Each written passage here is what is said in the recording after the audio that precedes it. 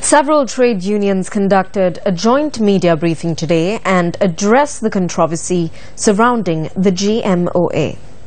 ජනාධිපතිවරයා මේ කතා කරපු යෝජනා ඇතුලේ අලුතෙන් දෙයක් දීලක් නැහැ.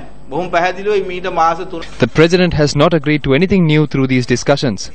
The Ministry of Health and Ministry of Education published a joint media release through the intervention of the President around three months ago detailing almost everything. The outcome of the discussions between the President and the GMOA are the exact same thing. If someone is trying to put this among the general public in the wrong light and says that the government has cancelled its plans on private medical colleges, then the government has a right to come out and saw that it is wrong.